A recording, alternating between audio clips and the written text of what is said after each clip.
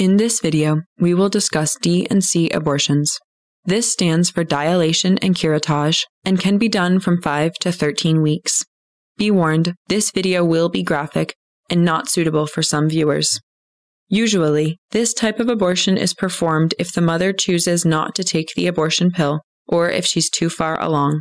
The abortionist will insert a tool called a speculum into the woman's vagina to open it.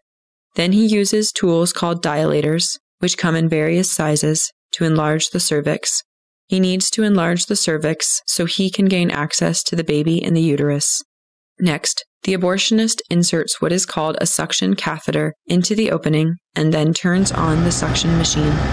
According to Dr. Anthony Levatino, an OBGYN who performed over 1,200 abortions early in his career before becoming pro life, the force of the suction is 10 to 20 times that of a normal house vacuum cleaner. The suction tears the child to pieces and deposits the remains in the suction machine. In order to make sure all the pieces of the baby are removed, the abortionist then uses a curette, a long handled curved blade, to scrape the uterus. Remember, this type of abortion occurs between 5 and 13 weeks. By three weeks, the preborn child's brain, spinal column, and nervous system were virtually complete. His heart had already begun to beat. By five weeks, the preborn child's mouth, ears, and nose were taking shape. This development happens before this type of abortion is performed. Much more development happens between 5 and 13 weeks. By 9 weeks, the preborn child sucks his thumb.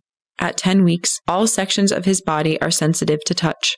He swallows, squints, frowns, and puckers up his brow. All abortions kill living human beings.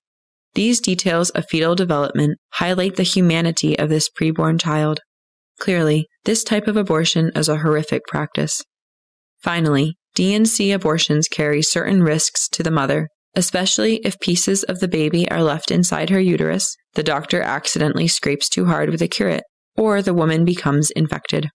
This D&C abortion performed in the first trimester kills a living child and also can injure the mother's physical health. Thanks for watching. Please like, subscribe, and turn on notifications.